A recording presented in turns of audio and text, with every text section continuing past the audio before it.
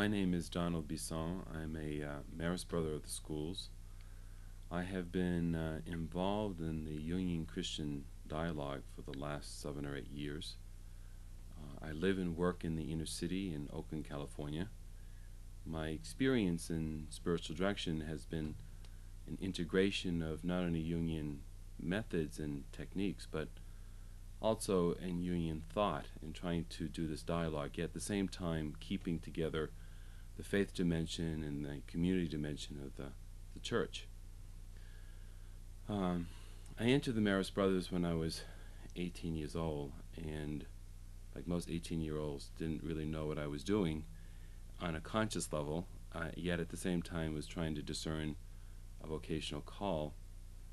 Uh, as a person, I think I was a perfectionist and a hard worker and went up the ladder of success very easily. I was a director by the time I was 26 and novice director by the time I was 29. But at 30, my life kind of came apart, and and in a sense, my introduction to Jung, like so many people's introduction to Jung, is when one's external life structures no longer make sense, are no longer meaningful. And I left the brothers for two years and went through uh, an inner challenge and, and turmoil and pain and did analysis and started recording dreams for the first time in my life that these big dreams were coming through. And my experience was that when I was going to a spiritual director at the time, they did not know at all what to do with me. I mean, all the kind of classical Ignatian training for them in terms of discernment and everything didn't seem to fit to what my experience was. Um, and therefore, I kind of went on my, this separate journey of doing dream work, uh, analysis, um, learning about my own type, realizing the kind of person I am, and getting in touch with the process of individuation in my 30s transition. At the end of this two year process, I decided to return to religious life and that my faith was not diminished by it, it actually was enhanced by this transition. And the Jungian model actually helped me to develop uh, deeper into my prayer life and into my own spiritual life. Um, when I came to Oakland, I lived and worked in the inner city and started teaching in an inner city Catholic high school and worked in the parish. And my intellectual curiosity about Jung continued, and I began doing a lot of reading. I did a postgraduate certificate in spiritual direction and Jung at the University of San Francisco. And then I was looking for a program to do kind of an integrative study of Jung and spiritual direction because I was so moved by the fact that my own experience of spiritual direction was impotent in dealing with critical issues of spiritual people. And I did a Doctor of Ministry at the Pacific School of Religion in kind of a re-synthesizing, re-envisioning Christian spiritual direction with uh, this ongoing dialogue with Jung. Um, and I have found it very beneficial not only for myself, but also I have been uh, gradually taking on more directees in the parish. I have 20 spiritual directees, uh, multicultural, multilinguistic, um, economically great, with a great diversity. And I have found that this type of spiritual direction is very effective in helping people encounter their true selves, face the issues of individuation on a new level, and see this as a conversion experience in deepening their own Christian um, awareness. All of these directees are uh, practicing uh, Catholics.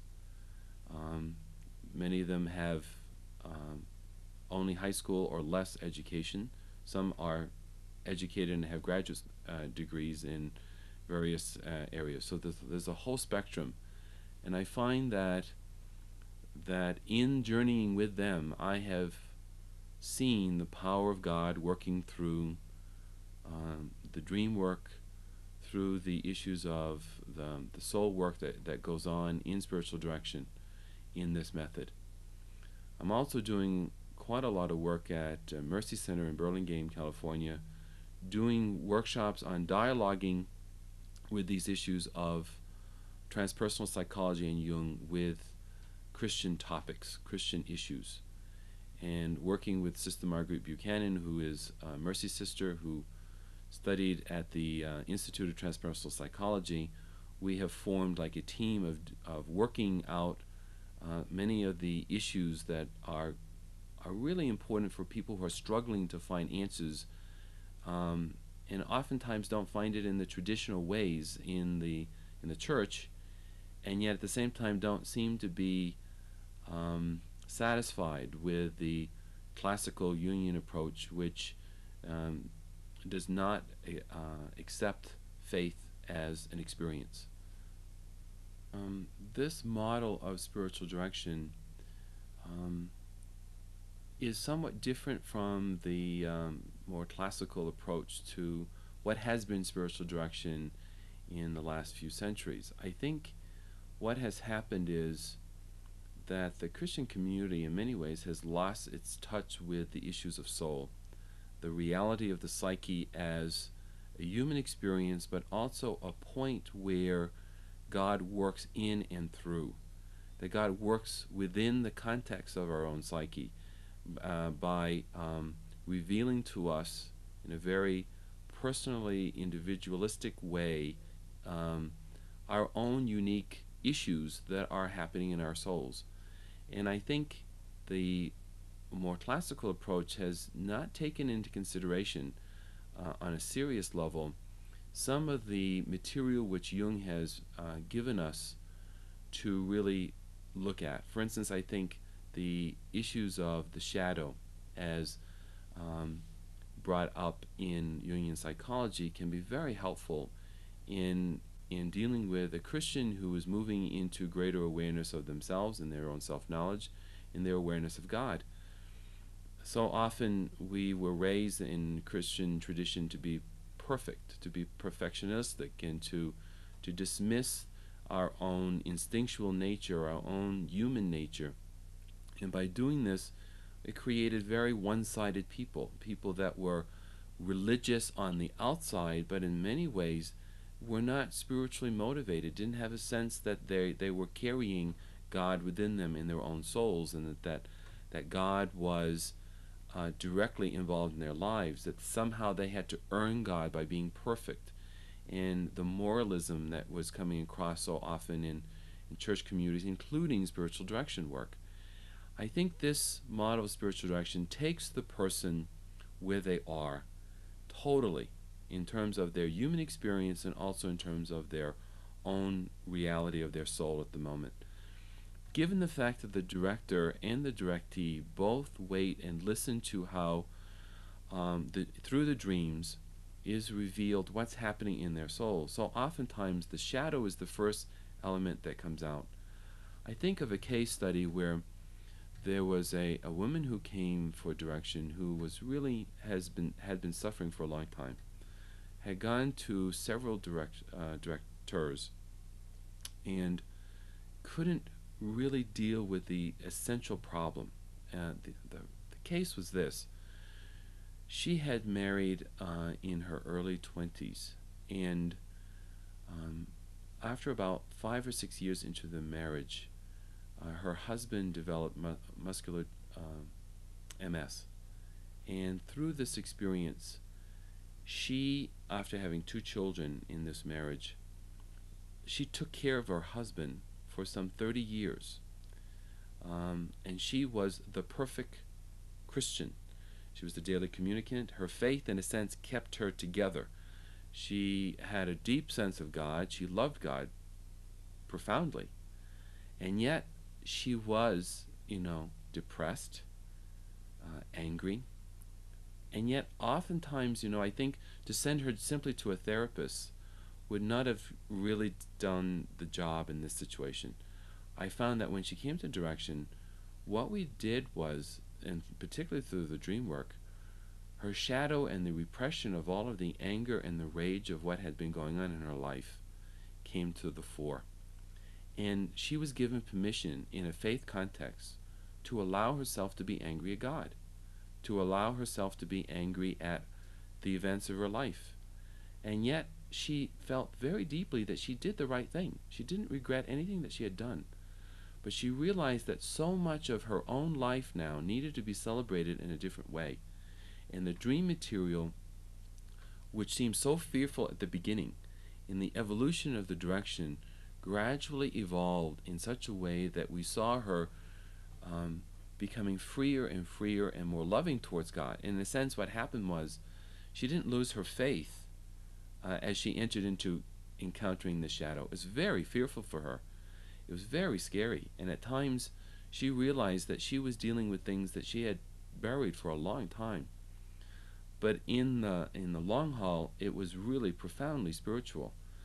Um, the last time that we met, as, as a concluding, this was one a, a very powerful ritual that we had.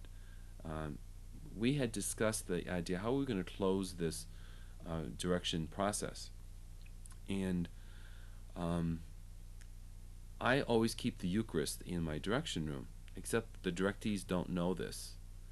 Um, and I've never made it a point to tell them, but I've always keep the Eucharist there. And at the end of the of this our little ritual of closing, and we had done you know kind of a, a litany of gratitude and, and praise of God, and I I just took the Eucharist out and I said um, put put the Eucharist there and said you know um, God has been with us, you know, through this journey. And there was a kind of a synchronicity that occurred. All of a sudden, she said out loud, uh, He's always been there. Has He always been there? And I said, Yes, the Eucharist has always been there.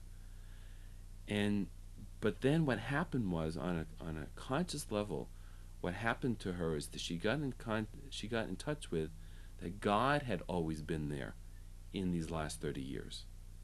And that she had experienced God in a very profound way through her event, through her life, and also through wrestling in those three years in spiritual direction, in really embracing her shadow and the parts that she had to bury in order to survive.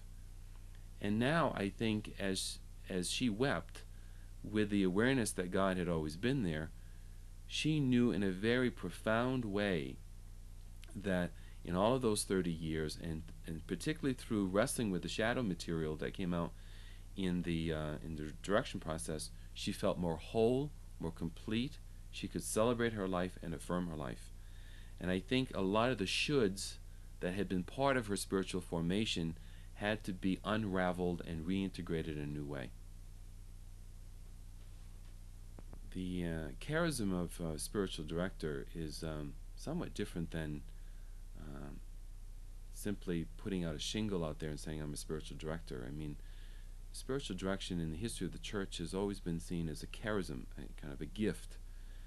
At the same time, it's a gift that has to be recognized by someone if it's going to be seen as a, a valid expression in the life of the church. What happened in my case is that as I was doing this kind of um, reevaluation of spiritual direction and a kind of a resynthesis for my own life, a couple of people from the parish asked to see me to talk. And um, I agreed. And gradually we set up normal kind of um, meeting times. And I got my first spiritual directees. Um, my first spiritual directee was a Hispanic male, uh, a truck driver, um, a pretty solid Catholic he would go to Eucharist on Sundays and participated on some levels of the church. But he he was really wrestling with a lot of his own personal issues about his own transitions in life and, and so forth. And uh, another one was a um, housewife in in her fifties. And um, gradually, what I discovered was that I was discovered, and that's kind of what happens in spiritual direction that the word gets out in the community that there's this person who speaks to people about their experiences of God and their experiences of their themselves, and something happens. Um, so gradually, over a period of a few years, I started having five, and then ten, and then involved as many as twenty uh, people. This is all done within a parish setting. I mean, the, if I go to church on Sunday, I might see, you know, ten or fifteen ex directees in the parish sitting around me. Uh, I might see somebody being the reader in the for the Eucharist, or someone who's teaching CCD. What evolved from this whole experience was I realized that spiritual direction can be a very significant way of renewal, not only for the individual but for the for the church community. That spiritual direction, uh, you know, unlike uh, Jungian analysis or or or uh, a kind of a set issue, it's a community experience. That there was power when a number of my directees would be at daily Eucharist, or I would meet them at um, at a parish meeting. And what I noticed, two kinds of evolution occurred. One evolution was that a number of them discerned that they were being called to become spiritual directors, and um, and with great enthusiasm on my part, and really just trying to discern with them if this was really a call from God that I set them up with programs within the, the Bay Area to become um, spiritual directors. Um, since that time, there are at least six people who have gone through training for being spiritual directors and have come back to the parish um, and have made themselves available to the community to journey with people. And I was very fortunate in the experience of sitting down with a few of these uh, people with the pastor of the parish saying, Where are the needs? Where do you hear that there's a need in the parish? And he um, asked one woman if she would kind of journey with recent widows in their journey of grief and of faith and of reintegration into the parish community. And this woman very um, simply, you know, connects, goes out for walks with, and and they go into really very deep issues of women's grief and, and women who are now in transition into their own lives and being supported and loved by a community of faith and also um, in their experience of sharing uh, their experience of God. Um, a number of people have you know, gotten involved in the um, Oakland Community Organization, which is in the inner city. They're an advocacy group to deal with major problems in the neighborhood, you know, crack houses or problems of um, dealing with drugs or you know setting up an, a drug-free zone around the uh, elementary school and uh, one of the directees has become like a key figure in that area of, of moving the community into becoming uh, aware of social change. Um, a number of these people have joined as um, uh, ministers of communion or readers or lectors and have there seems to be a natural evolution that once they have encountered spiritual direction and encountered this need to experience God through other people, not only within their own souls, and that it seems that um, the networking of people within this, and oftentimes because of the confidentiality of spiritual direction, sometimes people don't even know that they are in spiritual direction with me as they kind of connect in this. Um, and yet there's this kind of a yeast in uh, kind of effect in the community. And I believe that this model of spiritual direction could be e- extremely useful in all aspects of renewal. One, one of the uh, women who has been coming for direction is now doing spiritual direction with uh, candidates in the RCIA program uh, while doing their catechumenate. That lay people are uh, thirsty not only in receiving spiritual direction, but lay people are also seeing themselves as being empowered now to do spiritual direction, and in the doing of spiritual direction to empower others for ministry, not only for the parish but also for the, the greater community. I'd like to um, talk a little bit about a spiritual directee that began this process approximately seven years ago. She presently is a spiritual director and is working in the parish in very subtle ways in doing renewal with uh, women. She came to spiritual direction because she was a practicing Christian, no major uh, personal issues.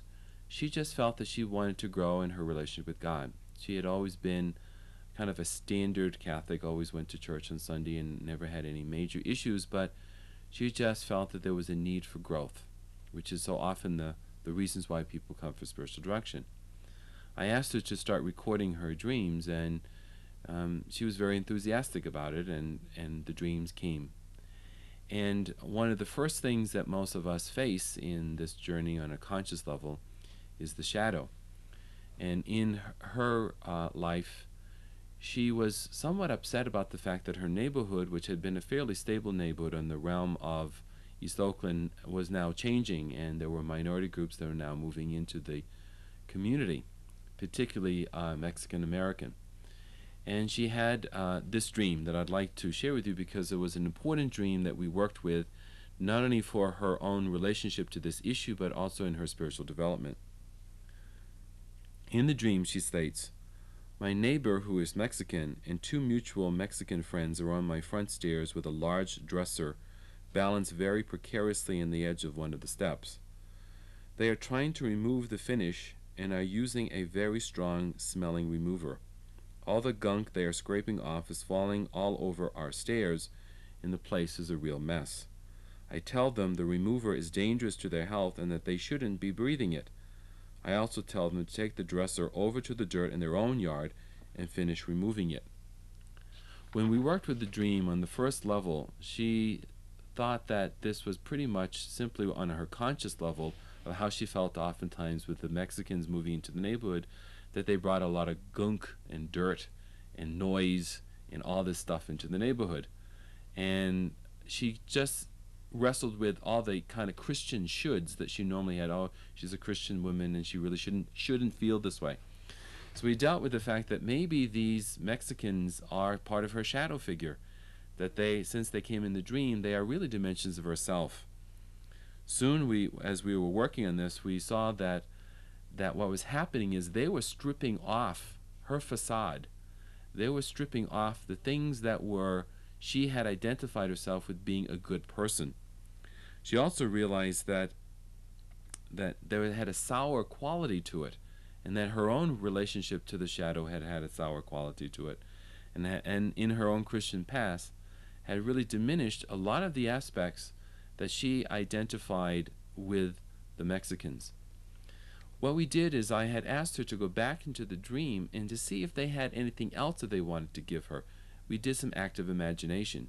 And as she re entered into the dream sequence, she realized that there were also some women on the steps. And allowing the women to emerge, that they were bringing food and they were bringing some um, things for a fiesta.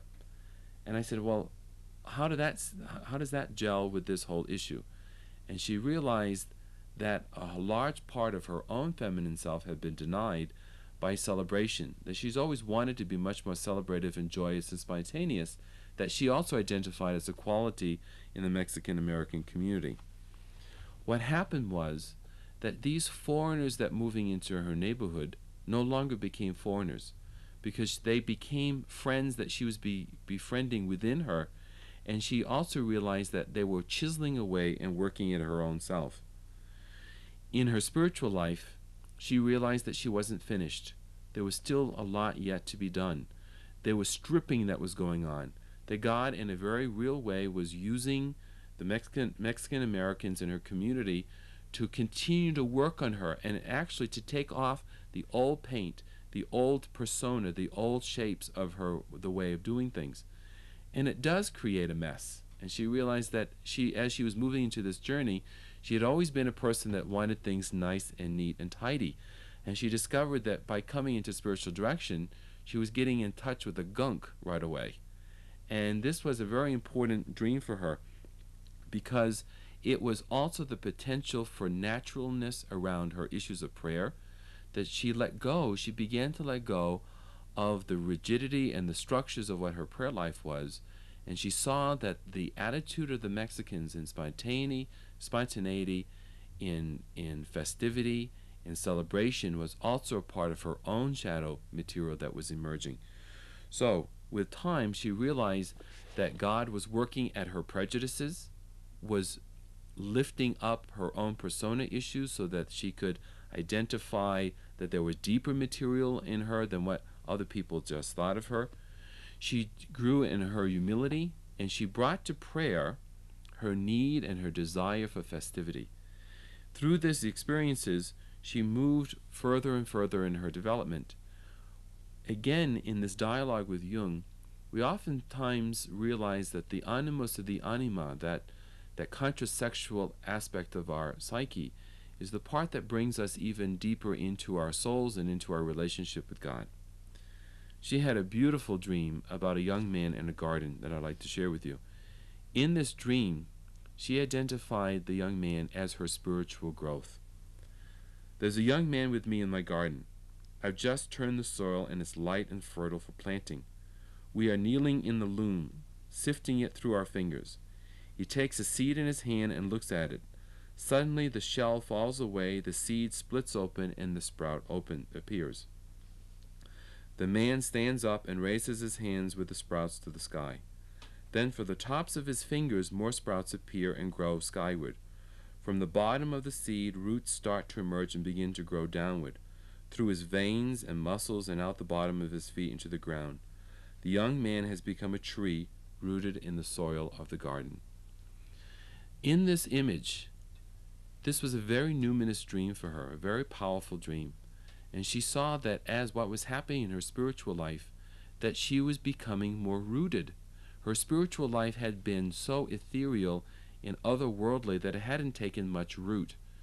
And in dealing with the Mexicans with a period of time and dealing with her shadow material, she saw that there was a new rootedness going on in her life that was producing new life, new enthusiasm.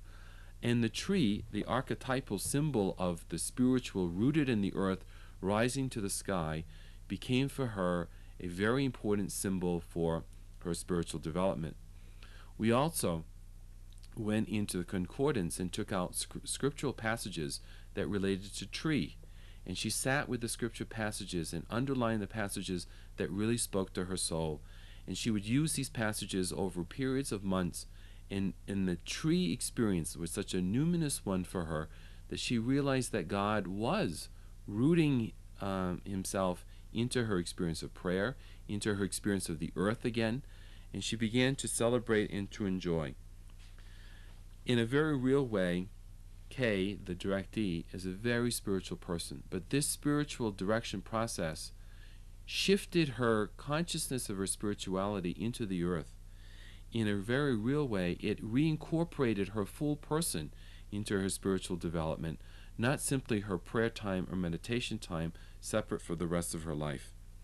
She saw herself more and more and growing into this um, spiritual person where she grew in great confidence in many ways, I tried to encourage her that she had wonderful listening skills and a great sensitivity.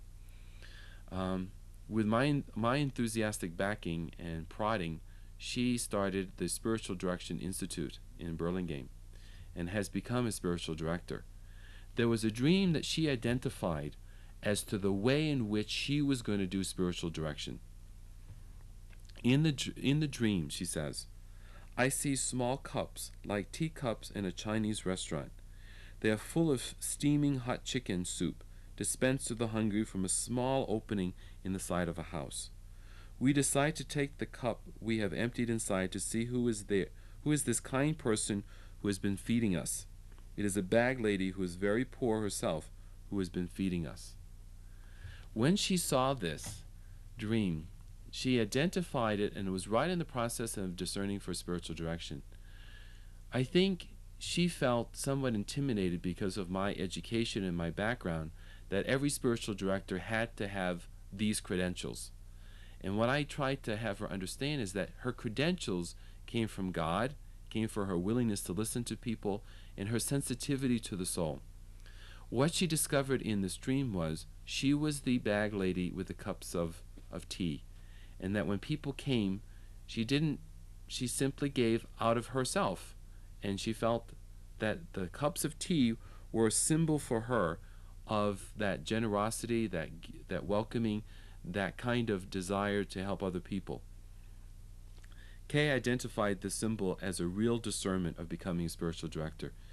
That symbol empowered her to, to let go of her feelings of inadequacy and realize that even a cup of tea given in hospitality and in love is a very powerful symbol.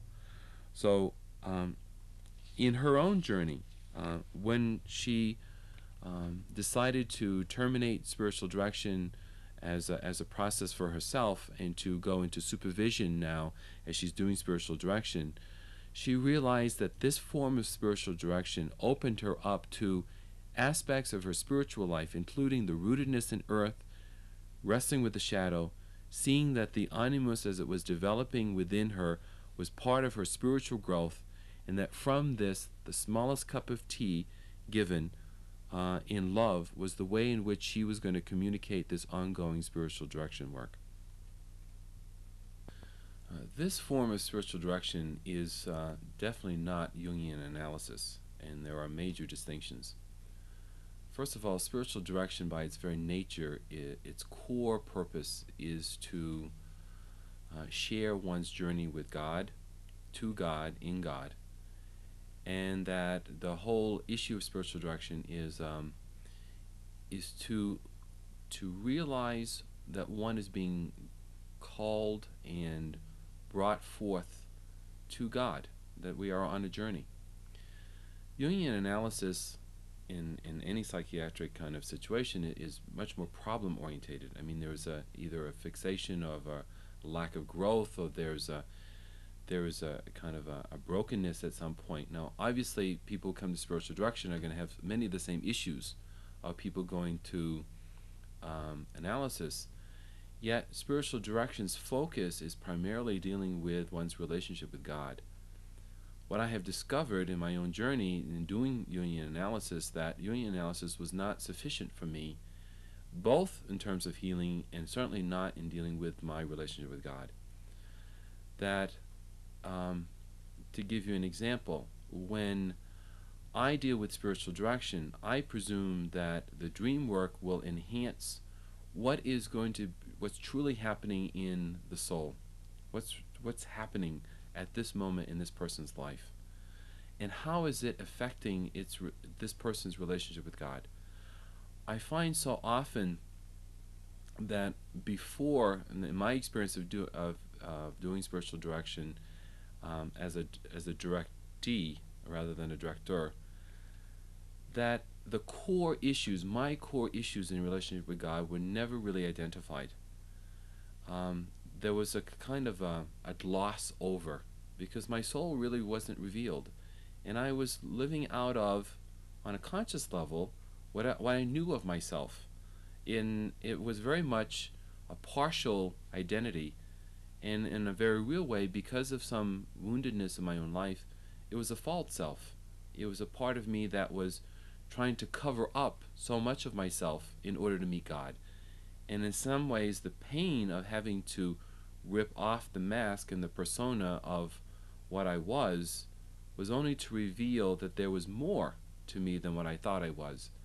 And in a, in a sense, spiritual direction has to deal with that key issue is that it's got to be, you know, as C.S. Lewis said, you know, it's got to be the true self before the true God. And and in some ways, the Jungian dimensions of of what I use is to try and allow the true person to emerge, the real issues of the soul to emerge that the, the truth of who they are and what they're struggling with becomes the real issues. And I found that in my experience where direction didn't work any longer is that I there were too many other things and layers and cover-ups that the the real me was not really being discussed here and it was in a sense what I should have been or could have been and there were too many other layers of of uh, of um, expectations that were not true to my own experience.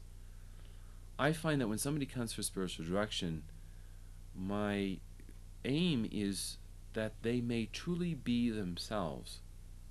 They will allow the truth of their own lives to emerge, because only then can they encounter God. If they are spending all their energy hiding behind the, li- the lies of their life or the fears of their life, then God cannot be God for them. Um, so when I use uh, typology or when I use dream work or when I use any issues that are uh, Jungian, it's in a bigger schema of understanding that this material is to be used so that the soul may be free to encounter God more fully. And that the, the emphasis is simply not individuation, it's individuation in order to be free to be in relationship with God. I think what's really key also is that this model of spiritual direction takes very seriously that God lives within, that the self is a place that already is in harmony and in union with God, that there is a dimension of our souls that's already in in that deep relationship and that we need to make that difficult journey there. Um, though, unlike um, Jungian uh, writing today, so much of the writing by Edinger and, and others who are talking about a new dispensation is really saying that the outside external religion no longer has any power, that this is medieval, this is, this is, uh, has no more significance to people. And that is by far not my experience that faith is a living thing, that my directees, when they come, are, are, are having real experiences in prayer and in their faith life and in church life. They don't want to throw it all out, and yet at the same time, they need to have a method, a way to get to the core issues of their own soul that can be emerged, that can somehow be freed up to enter into dialogue. One of the things that I think is this this new synthesis, this new way of doing spiritual direction, takes the soul seriously in that God lives within the soul. But it also does not deny the reality of a transcendent God, does not deal does not deny in any way the life of the church or the life of a community, the need for sacraments, the need for reconciliation, the kinds of things which still make community and church so vital in our world, in our society, that I, I think so often people who are searching today and are practicing Catholics and Christians are uh, caught between either doing soul work or losing their faith, or holding on to their faith and fearfully not wanting to go interiorly to look at the issues within. This spiritual direction is saying that you can do both, that you can you can be a person of faith uh, uh, you can be a practicing Christian and at the same time um, deal with the issues of um, of the interior life, the interior journey, in discovering that there are that the Spirit is indwelling within us, and that the mystical is not um, for a few, but the mystical experiences and the mystical way is for any person that journeys within the soul, and for a Christian that has such a wealth of and, and beauty of a tradition, it can only be enhanced by the experience of going within. If this form of spiritual direction is going to um, go forward, I think one of the most important aspects is that the very formation of spiritual directors have to be uh, radically changed. That that the formation of spiritual direction has to take into consideration the reality of the psyche and of the soul. That the spiritual director has to go through their own conscious movement within and working out issues of uh, persona, shadow, looking at their uh, type and seeing where they they're being stretched and where they need to grow, their own issues of sexuality and the animus and the anima, and also moving into seeing that the self is a living entity in reality within the, the human soul. If the spiritual director himself or herself can experience that, then they will be the facilitators and the people who are able to help their directees move in that same vein. I think the formation of spiritual directors have often been very intellectually sound, theologically sound, but even the psychology that has been given has been kind of like problematic. Like, um, if this person has this problem, then they should be sent to a therapist, or if this person has this issue, then this is kind of like a problem-solving issue.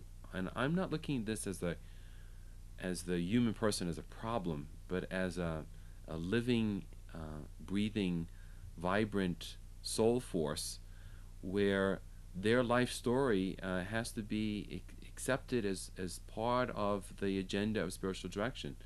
Not with the focus of healing problems or letting them moving simply to wholeness, but the human soul has to be the place where the material for the dialogue with the tradition comes in. So, for instance, oftentimes when people have dreams that have symbols that are obviously connected to our Christian tradition uh, water, uh, bread, tree, so many universal archetypal symbols that with amplification and with work in Scripture, it brings new meaning to all Scripture. I mean, I find so often that the passages of Scripture that I ask them to reflect on is, is coming from the images from their own soul, and therefore the meaning, the power, and the context of not only their personal transformation, but their experience of prayer becomes different. I would envision that if spiritual directors were, were trained in this format and then were seen as ministers within the Christian community, that is, within a parish setting, that there are explicit members of the community that have been trained, that are prepared, that are willing, that are able to journey with people in faith in their spiritual lives, that I think the very fabric of the church would have to be, would have to change. For instance, how you prepare people for marriage would have to radically change. The issue of, of the catechumenate and the conversion experience that brings them to the church, the formation of that spiritually would have to change. The issue of understanding how to prepare people for liturgy and the use of symbolism as, as uh, to bring back the power in our Christian symbols. So often our liturgies and our religious uh, rituals seem to lack power, seem to lack enthusiasm, because it's not connecting with our, our souls, it's not connecting with our spirits. I see that this form of spiritual direction, through a change form format for for formation, and then empowering people in the parish, could really go into every aspect of the church community and bring new life to an otherwise, um, at times, deadening experience. And this is where I think the whole issue with faith and experience that Jung wrestled with so much. Jung dismissed faith as an absence of experience. I think maybe it's because of his own lack of experience of faith that led him to that.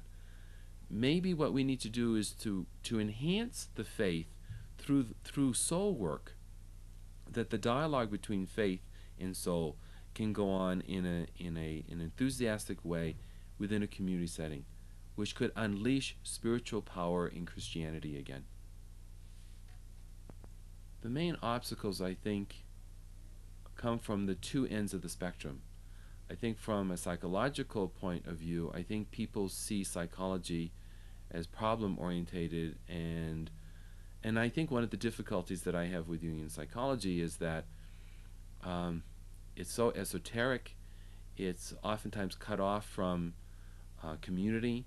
It's also, you know, expensive and not and it's not available to very many people. And I just find that it really upsets me when I see that it, it you know, the going rate for Jungian therapists is you know ninety to one hundred twenty dollars, and it's not available for people to become moving towards individuation. So I think there's a on one side I think there would be some who would say that this is watered down therapy, this is watered down experience of problem solving. On the other end of the spectrum, I think there is still a fear among church people about religious experience. I think the church still is suspect about the whole issue of personal revelation or the issue that people, uh, especially lay people, should be empowered in their spiritual lives and that it's not coming from the institution.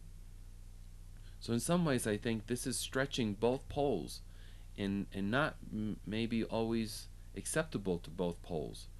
But in some ways, I think a new form or a new synthesis um, could be a very creative alternative.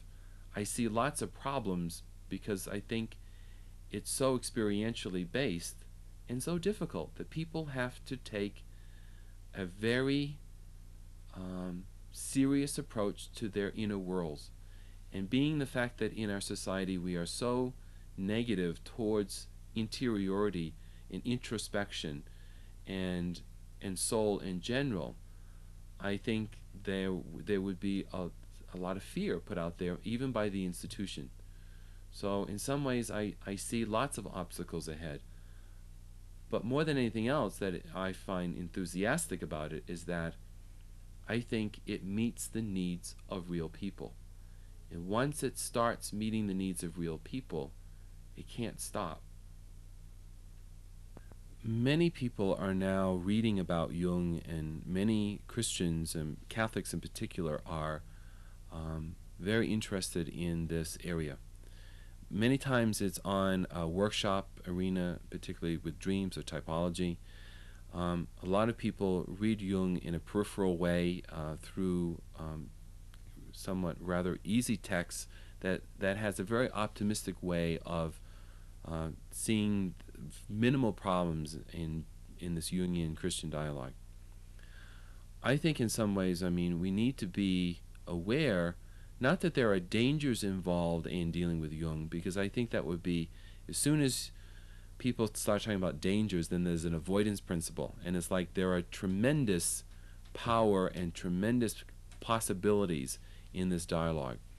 But I think Christians also shouldn't assume to be too naive as to simply address uh, the Jungian material as totally integrated in it.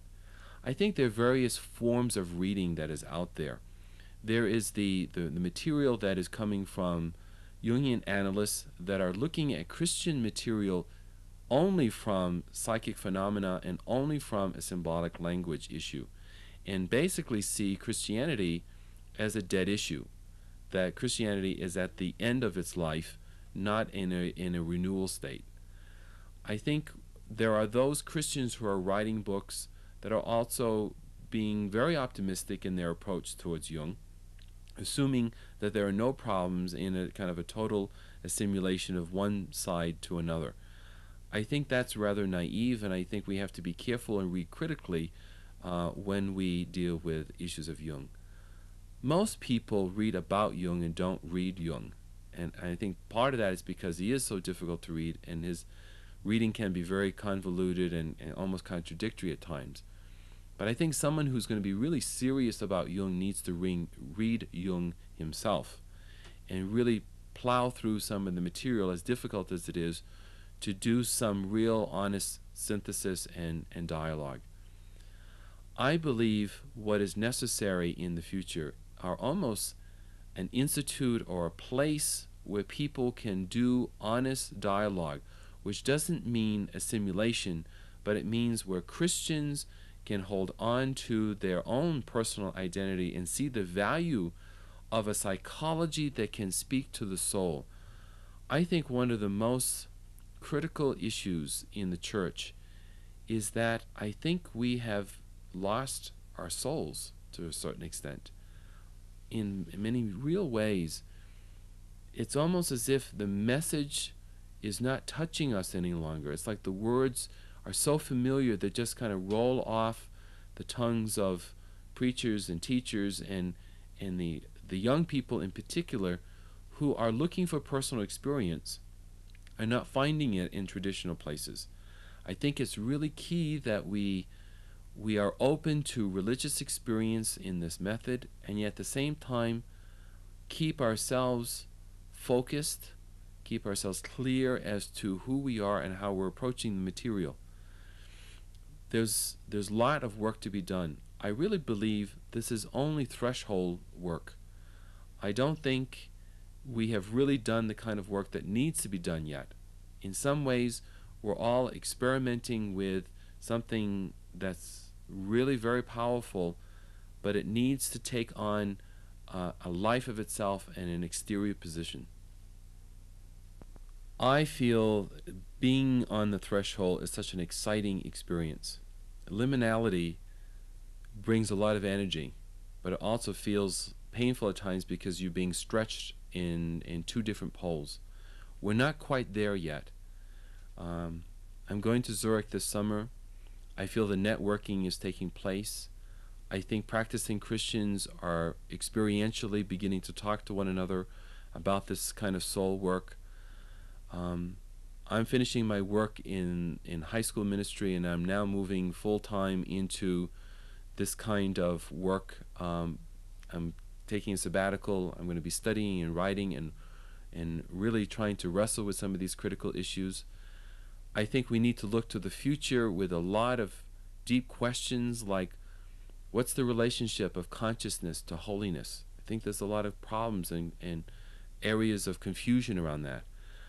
I think there's the problem that maybe the Jungians are thinking of a, of establishing kind of a subtle individual religion where there's a deification of the soul and where the reality of an external transcendent God isn't there and it can be very confusing and Christians have to look at what's the difference between doing soul work and deifying the soul.